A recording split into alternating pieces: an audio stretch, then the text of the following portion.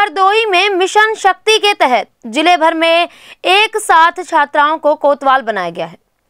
कोतवाल बनी छात्राओं ने कोतवाली में आने वाली जनता की, खासकर महिलाओं की शिकायतों को सुना और निस्तारण के आदेश निर्देश दिए। शहर कोतवाली की कोतवाल एसपी ऑफ़िस के फॉलोवर की बेटी व संडीला की कोतवाल होमगार्ड की बेटी बनाई गई। उत्तर प्रदेश में चल रहे नारी शक्ति मिशन के तहत हरदोई ज़िले के सभी थाना क्षेत्रों में छात्राओं को एक दिन का थाना अध्यक्ष बनाया गया। इस दौरान छात्रा बनी थाना अध्यक्षों ने पीड़ितों की जन समस्या सुनी और उनका मौके पर ही निस्तारण कराया। मिशन शक्ति के तहत शुक्रवार को ज़िले भर में ये कार्यक्रम आयोजित हुआ। शहर कोतवाली में कोतवाल फॉलोवर गयाधर मलिक की पुत्री सपना बनी। एसपी अनुराग वत्स की मौजूदगी में प्रभारी की कुर्सी संभालते ही कंप्यूटर रूम, महिला डेस्क व हेड मुहर्रिर कार्यालय समेत पूरे थाने, परिसर का निरीक्षण किया।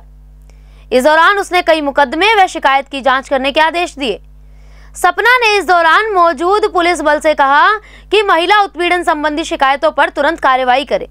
हरदोई से समाचार एक्सप्रेस की रिपोर्ट। देखिए, आज जनपद के सभी थानों में हम लोगों ने ये सभी अफसर्स ने मिलकर बात की कि जितने भी हमारे थाने हैं, सब में एक महिला, एक बच्ची को हम लोग चुने और उस बच्ची को उस दिन थाने का अध्यक्ष बनाए और वो सारी समस्याओं को देखे, थाने में किस प्रकार की वर्किंग है, कैसे महिलाओं के साथ व्यवहार किया जाता है, महिला संबंधी समस्याओं को कैसे सुना जाता है, एक पुलिस वाला किस तरह से जनता की सुनवाई करता है और पुलिस के एक्शन करता है, इन सब का एक्सपोजर बच्चियों को मिले।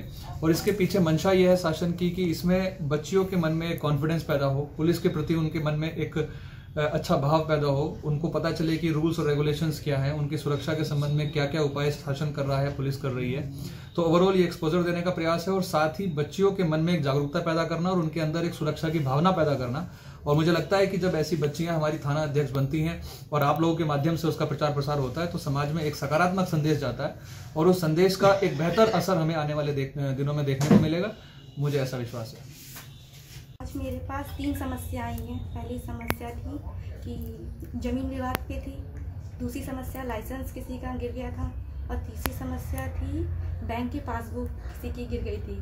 पहली समस्या का हमने निस्तारण किया है कि उसकी, क्या कहते हैं, सोनू कांस्टेबल सोनू को भेजा है उस पर काम करने के लिए और उस पर रुकवाई, रुकवाया है। ऐसे ही लेटेस्ट खबरें पाने के लिए बेल आइकन को क्लिक कर हमारे चैनल को लाइक शेयर एंड सब्सक्राइब करें।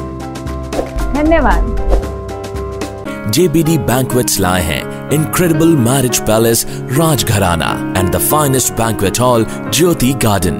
World-class catering, centrally air-conditioned, lush green lawns, state-of-the-art lighting. A perfect venue for wedding, launching and parties. Rajgharana and Jyoti Garden at JBD Banquets Enterprise.